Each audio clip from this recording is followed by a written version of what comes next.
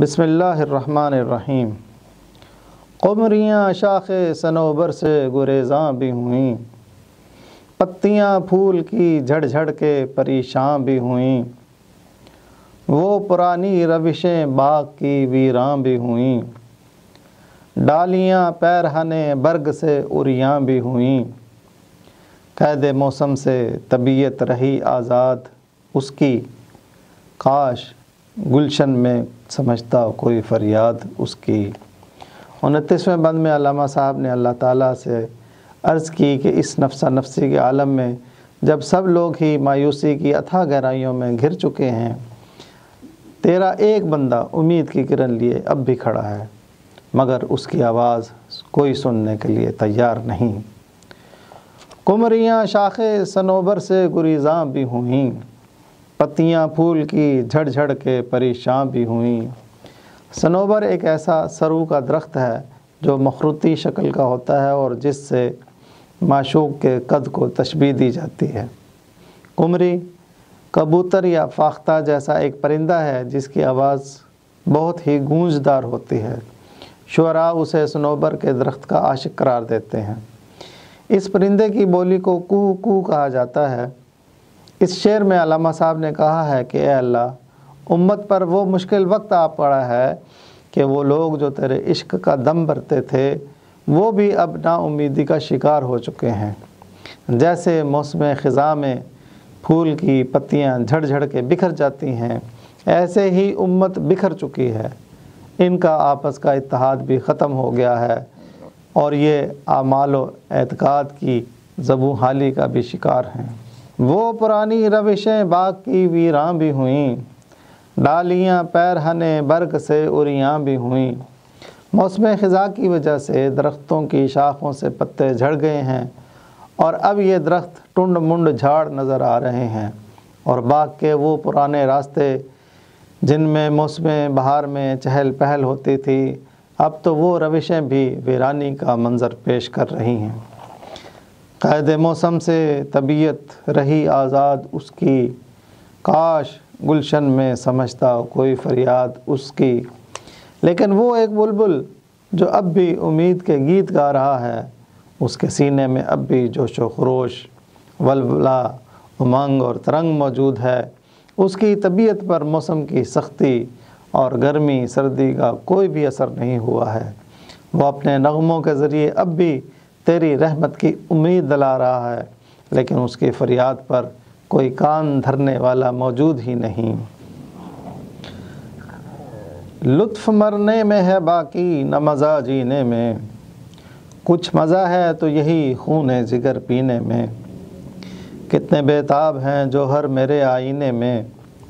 کس قدر جلوے تڑپتے ہیں میرے سینے میں۔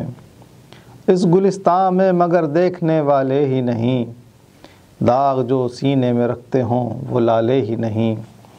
تیسویں بند میں علامہ صاحب نے اللہ تعالیٰ سے، مسلمانوں میں اپنی بے قدری اور کم ہمتی کا ذکر کیا ہے اور کہا ہے کہ میرے پاس امت کے مرض کا علاج موجود ہے، مگر کوئی بھی اس طرف متوجہ نہیں ہو رہا۔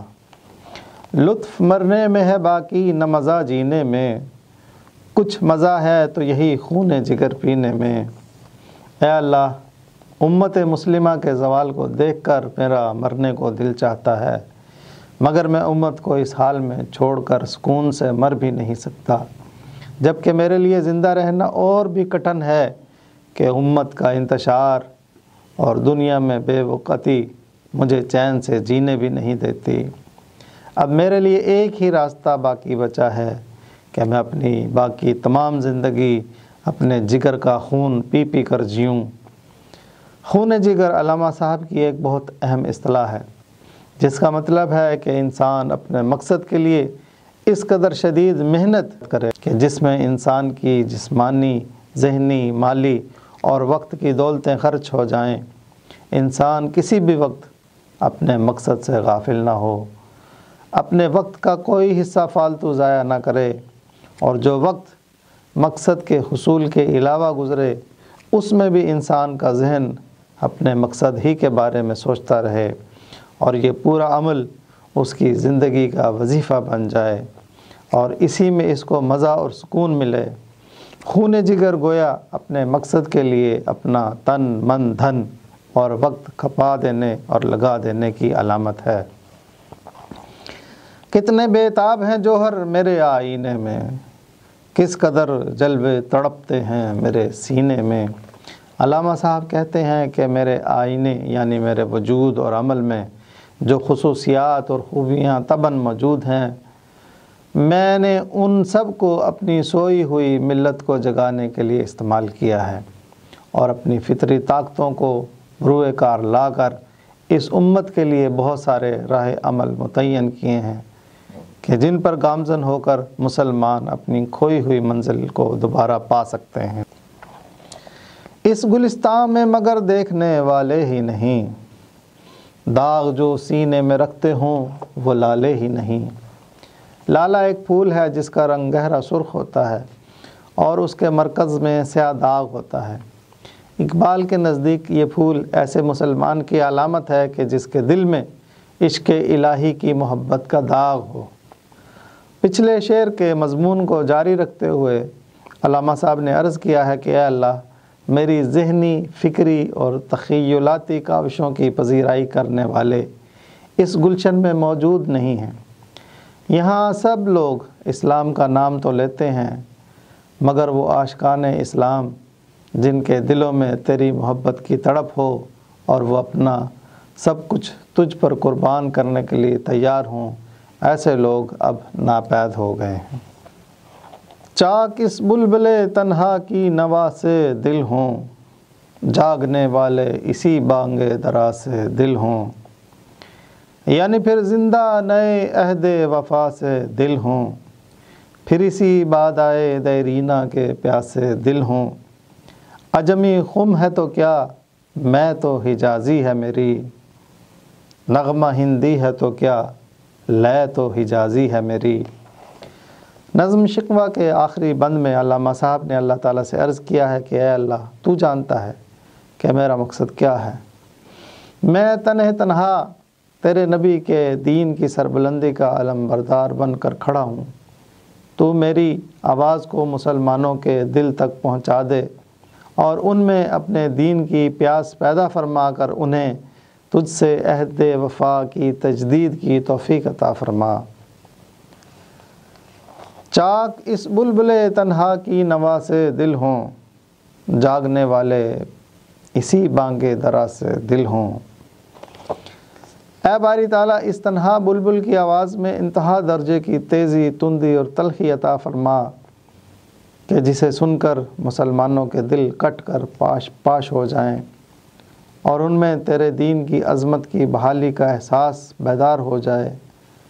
میرے اس نعرہ مستانہ اور ہمت دلانے والی گرجدار آواز کو سن کر لوگوں کے دل جھاگ جائیں اور وہ میری آواز میں اپنی آواز شامل کر کے تیرے دین کی حفاظت اور سر بلندی میں جت جائیں۔ یعنی پھر زندہ نئے عہد وفا سے دل ہوں۔ پھر اسی باد دیرینہ کے پیاسے دل ہوں۔ اے اللہ، تو مقلب القلوب ہے۔ تو مسلمانوں کے دلوں کو اپنے دین کی طرف موڑ دے اور وہ دل سے تجھ سے عہد وفاداری کا اقرار کرنے والے بن جائیں اور پھر اپنے وعدے نبھانے والے بن جائیں اور ان کے دلوں کو اپنے دین کی تعلیمات کی طرف پھیر دے۔ اور اس کی سربلندی کے لیے جان و مال قربان کرنے کا جذبہ عنایت فرما دے۔ عجمی خم ہے تو کیا میں تو حجازی ہے میری، نغمہ ہندی ہے تو کیا لے تو حجازی ہے میری۔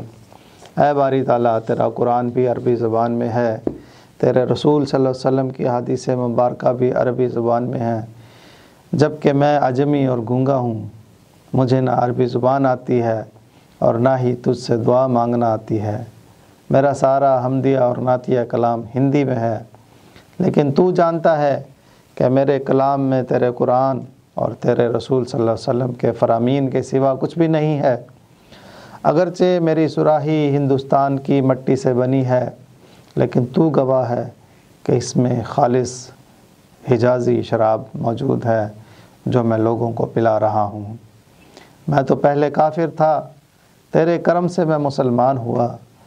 پھر میں نے اسلام کو اپنایا اور اس کو اپنا اوڑھنا اور بچھونا بنا لیا۔ اور اب عربی لوگ تو سو چکے ہیں، لیکن تیرے دین کی خاطر میں جاگ رہا ہوں اور ہندی مسلمانوں کو جگانے کی کوششوں میں مگن ہوں۔ تو میری ان کاوشوں کو شرف قبولیت عطا فرما۔ کافر ہندی ہوں میں، دیکھ میرا ذوق و شوق۔ دل میں صلاۃ و درود، لب پہ صلاۃ و درود۔ شوق میری لے میں ہے، شوق میری نئے میں ہے۔ نغمہ اے اللہ ہو، میرے رگو پے میں ہے۔ ربنا تقبل منا انکا انت السمیع العلیم۔ اللہ تعالیٰ علامہ صاحب کی مغفرت کرے، ان پر رحم کا معاملہ فرمائے، ان کو اپنی جنت میں داخل کرے۔ قیامت کے دن ان کا حساب آسان فرمائے۔ اور ان کو آخرت میں اعلیٰ مقام عطا فرمائے اور ان کے جاری کیے ہوئے فیض کے چشموں سے ہمیں سیراب ہونے کی توفیق عطا فرمائے۔ آمین۔ یا رب العالمین۔